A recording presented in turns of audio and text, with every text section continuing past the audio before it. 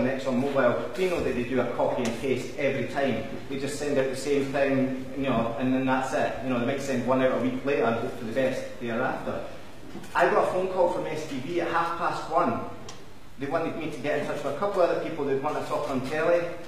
I managed to speak with Michelle, spoke with James, and by three o'clock we were all interviewed on the telly. I want to know why wasn't anybody else able to get that voice across? Why, is it, why, why weren't we hearing from SEPA or why weren't we hearing from Fife Council or any other representation that would actually assured us? You know, it's a very well me voicing my concerns on behalf of residents, it's a very well Michelle voicing concerns as a local resident and again James as a local activist. By the end of the day, we needed reassurance and we didn't get it from the people that we expect it from. And that's why nobody phones your 0800 number or hashtag SEPA. We don't care because you don't care. We're not getting anything back from you.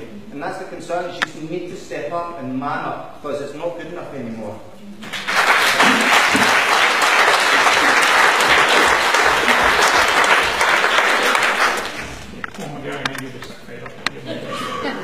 This is your last, this is your last question. Two, two quick points. First of all, except what this gentleman said is true, then SEPA should be going back to Exxon and Shell and saying to them, you might want to write this down, you want to see the second line, third line of defence, audit reports and corporate risk logs to see why they are not resilient and why they don't have proper uh, disaster recovery plans in place so the generators and pumps are backed up. That's the first point. Because that's industry I work in. And I've seen technology fail at a great rate of knots. And it all comes back down to management not putting a hand in their pocket and paying for the disaster recovery and paying for the resilience in place. That's the first point. The second point, noise. Let's talk about noise for a minute. So I go out and purchase a PA system, a thousand watt PA system, and I stick it in my back garden, and I run it for nine days. You know what will happen after three or four hours? Come up at my door and tell me to switch it off. And I realise that it's quite difficult to do it this morning because, you know, it's a plan and there's all sorts of things to do. But here's the issue. When I went onto the Fife Council site to look at noise abatement, it said phone the police. So that's what I did. I have an instant number. The instant number tells me that they will go and investigate that. I have not heard back from Fife, uh, sorry, Police Scotland. I have not heard back from the noise abatement team at Fife Council. Why is that?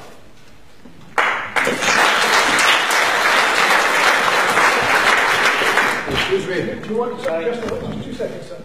Can you, I can look into that particular, stand? I can look into that particular issue for you regarding the noise issues. My specific remit is in air quality, but I have other colleagues that work in, in my te- uh, the team that we work in public protection that deal with the noise impacts of good.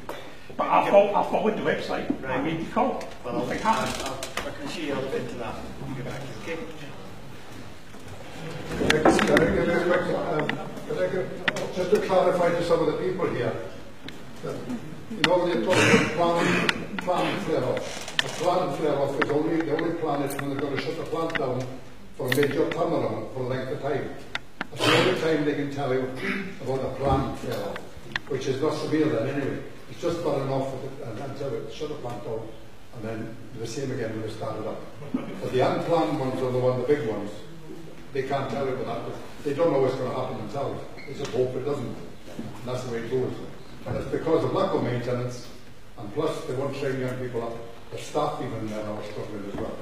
The age of the plant, the age of the plant, they're struggling to start the plant up again. The black smoke, right? The black smoke is different because they struggle to start these massive turbines up. To fire these big gas turbines up again is a hell of a hard job. And they've got the staff in there struggling to get these fired up. And unless they do them in pro- proper sequences, that's when you get the black smoke. It's just like an engine in your car's not running right, you get the black smoke. That's very helpful. Thank you very much. Yes, sir. Uh, Pete Milmore also lives in uh, Cowdenbeath. here long. And uh, I, I wonder why, when you buy a property and you move into this area, you're told that they used to dig mines around here, like you wouldn't know that. And no one warns you about Mossmorran. And that's, and that's not, that's, doesn't come up in any searches. And I think there's something about, now I'm here and I consider myself part of this fantastic community and I love it. But I think we do have some sort of responsibility to make sure that people who come here and want to look for a house and want to buy a house are aware of what they might be getting into because it was a terrible shock to me. From this, what looked like La La Land over there, steamed away merrily like something off of a children's program, doing that. Now, I've spoken to your people, and I've spoken to your people, and you need to train some of your people to be able to answer you when you talk. You know, you're, you're, you, I feel really sorry for you tonight. I think you've done a fantastic job, and I'm, I'm sure you wish they were here more than we do. Because you copped it, and actually, you do try to do your best for us, and thank you for that. But I went through with everybody, and I even tried to talk to the chief executive Fife Council's. Interesting. That guy, that guy ain't interested in everybody's health and safety. He don't want to talk to you. That's interesting. I talked to Mel for hours on end, trying to persuade her to put me through. Disgraceful carry on. But anyway, I got to the root of the problem with both of your organisations, and that is you have something in place, and it might be Professor or whatever the name is and his wonderful group, and blah blah blah. But none of you have any real time grasp on what's happening. I said to SEPA, how do you know if there's going to be a problem up there? They will let us know. Oh well, were generous of them. You know, marvellous. How will you know? Well, CIVIC might tell us six months down the line. Please. You should get from these people what is likely to come out of that tower, and our good friend here will doubtless tell you what is likely to come out of that tower, and you need to invest our taxes in making sure there's a ring of monitors around that so that you've got real-time information, as my technophone friend back there said, somebody sat there with a screen in a corner that, surprise, surprise, rings an alarm in real time. That's what we want. We want real time.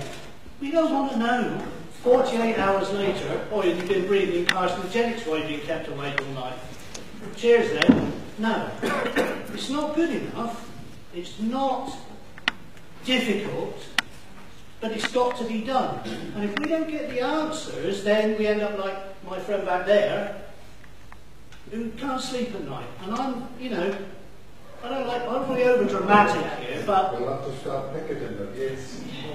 Well, we start, we start with all the building sites, get all the builders hacked off with the fact that we're telling people don't buy a house here. But, sorry, but, I don't think it's melodramatic to say that the people of Kensington and Chelsea and their tower blocks were doing exactly the same thing. We don't think we're safe here. What's going on? We don't think we're safe here. What are you doing about it? And look where it ends. This is the same way. Always has to take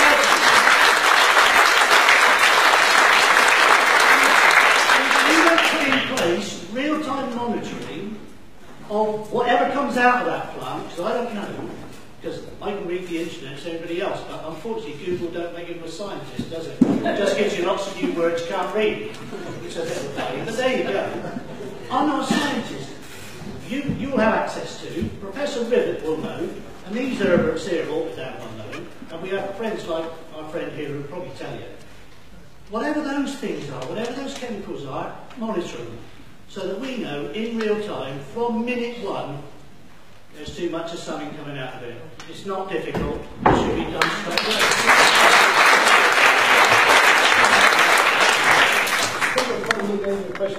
Councillor Lockhart, and then perhaps two more questions, then we'll have to sum up. I'll take you after the president. Yes. I actually have two questions I would like Alistair to ask on his, on his role on the, the committee.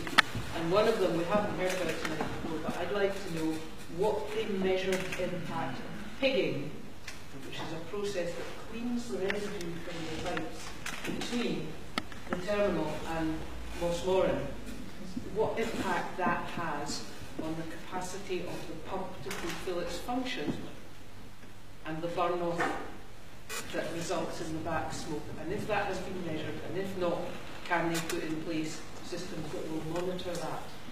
And the second thing I would like Alistair to raise, because I had seven emails from people who have worked either at the plant or actually on the pigging process and they were frightened that their names would be revealed.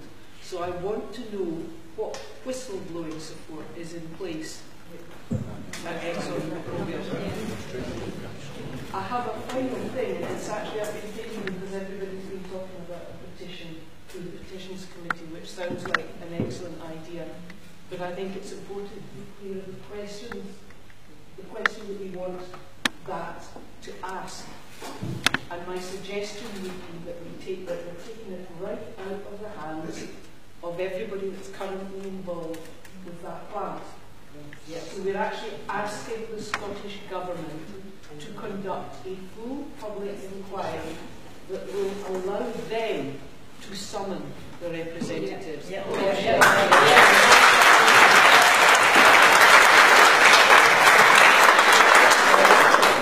Like I say, we're coming in there. Yes, sir. And you, um, yes, madam. Very quickly, please. Bailey Roberts, Oxford Academy. Bob, I have a fascinating question here. Right? What I, and I'm sure everybody else here is really worried about is this gentleman behind me knows more about what happened than the, the, the company, the organisation, government funded thing everybody pays for here does.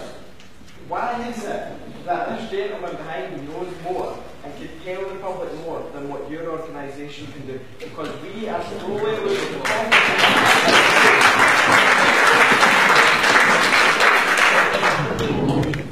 Uh, you've raised a couple of really very, very fundamental points. Your job won't be taken so we we clearly need to employ people like the gentleman behind you to make sense of it. Look, we, we, we have uh, staff who are technically robust and can challenge the processes. They can't be there all the time. Employees, uh, uh, I mean, they are. They know their stuff. They're. So on. I'm sorry, I'm not, no, no, no, stop, stop, stop right now.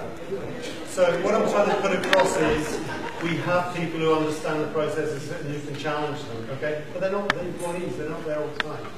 The purpose of the investigation that we're going to be carrying out is to ask the questions that reveal the information that is coming out from people who maybe know about it. We need to follow, we're, we're an independent regulator, firmly independent of government, and we're established in that way. And, and we have to be you know, mindful of the fact that we can't compromise our independence as a regulator. That, that's just a fundamental uh, part of our existence. Okay, so we're independent. We're not in anybody's pockets. We have the technical expertise to go about an investigation and get a prosecution if we need to. Okay, so you know we have people. But what I said at the very beginning of this meeting is, I can't come and tell you what you know our investigations actually involve at this at, at this point in time, or what the findings are. But I hope I've made the point that it was prolonged, it was very unsatisfactory, and we, we're investigating potential breaches of permit conditions.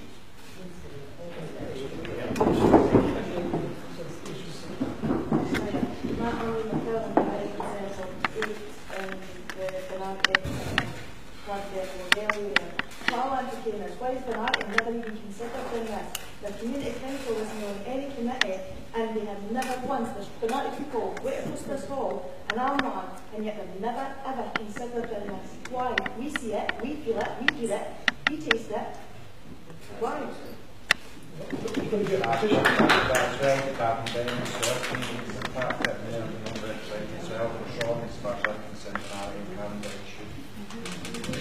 Yes, madam.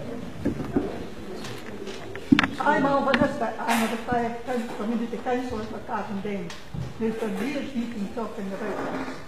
Village has been polluted with different other issues which Fife Council and SEPA know about. But most modern, my con- concern is where I stay, we're at the very top of the hill, we're probably nearer most modern than what a lot of the people in Lochell and County Heath are, because we're in a direct westerly wind as the crow flies. My house especially, I have light all night. We have noise pollution all night. But the main concern is our child's primary school is right in line with us. And our children have been affected with this. Now, that is not acceptable.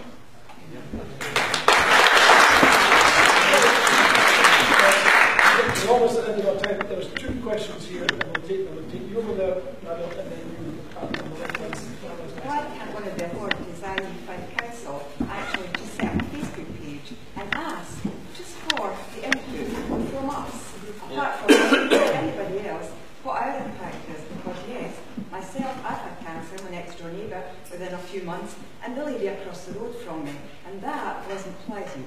My son, when the um, Most One was first being commissioned, I lived in Crossgates at the time. You couldn't open the window, it stank, it was terrible, it was disgusting. He was born deaf, we boy along the road, born deaf, within a mile radius, four children, one born blind deaf and three all deaf. Now you're not telling me that that wasn't cause for concern. I tried to raise that issue with the council at the time through the professor that I went to, and I blamed North North, as does my neighbours for our cancer recently. So I'm sorry, but if you want to take just a little bullet of the community, put it on Facebook. Most of the people are on Facebook, or you can get somebody that will give you a suggestion as to how to do it. And they'll tell you what is wrong with the rest of us, and that'll give an insight into what we're doing.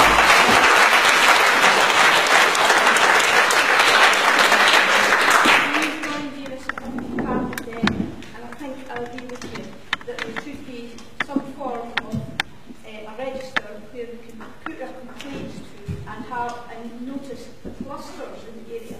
Like you say, the clusters for cancer, the clusters for uh, how we're sleeping or not sleeping, um, and the issues that was raised. Uh, to put this on some sort of database so we know like it's more in this one on a certain night uh, because it's a western road, and I think this this should be done. Uh, mate, I get upset when I find that youngsters especially dying young, a young person who's died in Cardiff with uh, a, a very rare cancer and these sort of things. I, I, I've been looking at and trying to figure out why this young girl died. And give the names, uh, you know, and what Carpentine people will know and will uh, try to help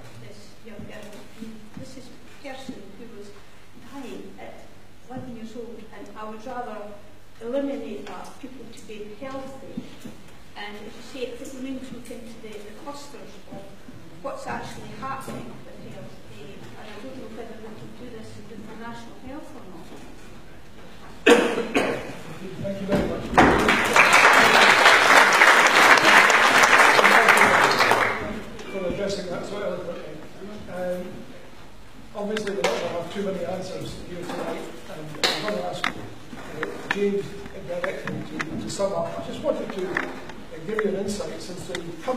Themselves haven't turned up. I would like to read to you from this document here, which is around about 20 years old. It's called the Shell General Business Principles. Uh, I'm very familiar with this because I drafted it. Uh, and uh, principle number five says health, safety, security, and the environment. Shell companies have a systematic approach to health, safety, security, and environmental management in order to achieve conditions, continuous performance improvement. To this end, Shell companies manage these matters as critical business activities.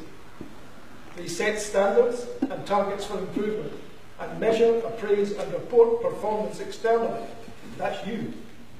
Externally means outside the company. We, a Shell, continually look for ways to reduce the environmental impact of our operations, products, and services. You should have read them every morning. Principle six. Shell companies aim to be good neighbours by continuously improving the ways in which we contribute directly or indirectly to the general well-being of the communities within which we work.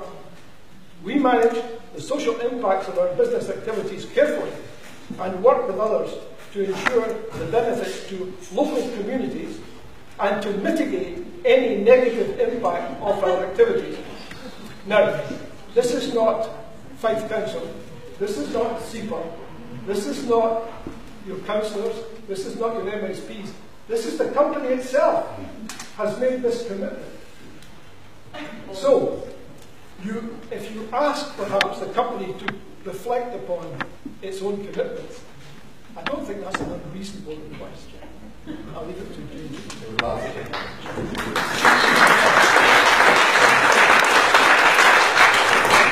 I'd like to thank everyone for showing up. Uh, it's been great. One of the important things for this meeting was to make sure that people's issues were coming into the public domain, but also in the public domain in front the councillors, uh, Fife Councils, SEPA representatives, MSPs, so they know directly rather than the current format, which is always to dismiss our local concerns. Now, we've had over 25 years of issues, and um, unfortunately, we've not been able, there's a lot more issues that could be discussed tonight. Two hours just isn't enough to sum up the impacts people have faced. But for what we can gather for the short time we've had tonight, is there's a big issue over the government's in the Mossmorran Safety Liaison, and how there's groups, there's communities not being represented in Cabinet. Eh, we need to relook at the structure of how these committees are governed and have them more open to the members of the public, more accountable and transparent, and where, where communities can actually have direct engagements. We don't have to rely on their elected representatives and we can go direct to these schemes. There's also an issue between the regulatory bodies and the plant operators communicating back to the residents and we need to push for stronger communication between us all, with the direct engagement. There should be a central location point for the information, for all the minutes, for every data with air quality, every data, uh, the minutes for the committee meetings coming forward. All that needs to be put in a central, easy to access location, and there needs to be ongoing consultation. That's a given. There also needs to be better regulation of the plan. We need to be looking at the air quality better, real-time monitoring is the only way to take it forward. This uh, looking at the data after it's the incident is no use. Need real-time live data for the air quality, but also land and air um, water pollution also needs to be fully examined. Now, unfortunately, we, we knew we wouldn't get all the answers tonight.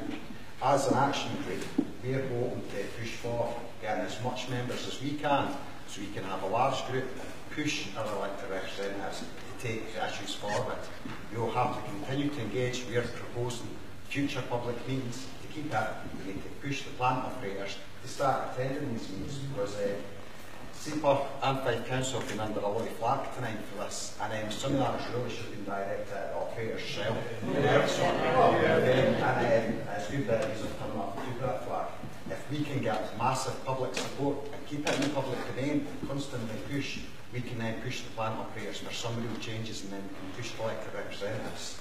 So I'm hoping that based on the people that have shown up tonight, is they want to come on the committee, do some work, and we can push for a petition at Holyrood to get the plant operators up in the dock at Holyrood and to get residents to give evidence forward. and in the meantime, we can also push Fife Council to have an extended consultation, to extended consultation where residents are impacted and get all these issues recorded out into the public domain and have a list of actions where elected representatives should meet and then report back to the communities and how they've addressed residents' concerns.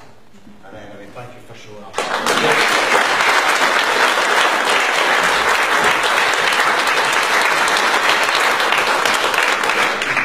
Can I just ask a point of detail? Uh, the MSP president who suggested that there ought to be a petition, uh, who is going to take the lead position on that? You, you all will work together. Uh, what about uh, Councillor Flock, sorry, so what about Councillor Flockhart's uh, suggestion? Sorry? That There ought, there ought to be a, a, a general inquiry. Would that impede the petition, or can these things happen concurrently? How does that work? I actually think we have, if we only go through the petitions committee, I'll let it run its process, um, because they will investigate it, one pass it to the committee In to that case, investigate. in that case, people here will like to know how long that process takes. Because we've heard that SEPA are going to take months. Have we not elected a committee tonight? Yeah, but that's, up- that's, you need to work with James and I'll ask him a specific question. I, I would say that the sooner that you can get the petition in, the better, because it's in the system. The air quality inquiry and environment is happening in the autumn, so the quicker that we can get the rules done, the better. Can, can I just say though that... Yeah, it doesn't stop the action happening on enforcement in the And I'm sure meantime. James will take that. So, so it doesn't stop the work of SEPA. Continuing with the legal enforcement, continuing to investigate the, the potential breaches that have happened, all of that happens. This is just a more of a broader view to look at what's going on as an example. Yes, Councillor. I was just going to, if I may, um, give a wee word of advice about these public petitions. Scottish Parliament, the public petition system is an absolutely brilliant system, and it is to allow citizens directly to engage with and raise their concerns in the Scottish Parliament. I think the MSPs will agree to that. And therefore, it really is a way of the voice of people quickly being, being heard. That's why it's such a good idea for this. It doesn't impede anything else that is going on. But if I could suggest, it might be helpful if James could set up a small committee from the campaign group to draft that petition and get it drafted within a week. And that could be, you know, that could be there and it could be gone. And you could probably circulate it around most of the people who would be here, just in case they've got anything that they want to amend to it. And then next week it's, it's, it's there. I know Parliament's in recess just now, but it's there for the start of the new, of the new session. Thank you for that. Uh, I think James has already got that on the way. He's got a petition. Just a clarification, we're looking for people to sign up to the committee tonight, so if anybody wants to come forward, sign up to the committee, we'll have a meeting early next week and we can start forming an action plan to take some of the issues forward at the meeting tonight. So this is your opportunity here to take it, to help James and his team. Because it's going to take a community effort here, I can tell you. You've got your elected representatives signed up, clearly, and that's hugely important. I can't, I can't overstate the importance of that. But nonetheless, you, really have to take the bull by the horns here, I would strongly suggest to you. And it's no small task that you're undertaking. I would just also like to say to you that uh, the the companies are not here tonight, but I shudder, honestly shudder to think what the reaction is going to be in the community if there's another incident that happens between now and the publication of these petitions and reports and what else. Because the trust levels, evident to me tonight, are fractionally above zero. Now that's not good corporate responsibility. That's a failure of corporate responsibility, an utter failure. And, and I, I'm absolutely astonished that there's no one here tonight to represent the company. Because it me that just not, not, not a practical way forward. I, I need to end up by saying uh, thank you uh, to uh, all of the participants. And I have to say, I think, I think they've taken, some of them have taken enormous flack because the proper targets were not available. Uh, and, and so on your behalf, I would like to thank James, uh, Petrona, Rob, Kenny, uh, Linda, and Alistair. Uh, I think the, the, the, very best job you can do is very difficult circumstances. And I would like to end by saying this. I'd like to thank every single one of you for coming out tonight. You've got lots of other things you could be doing. You've put the community first. I commend you for that. Thank you very much.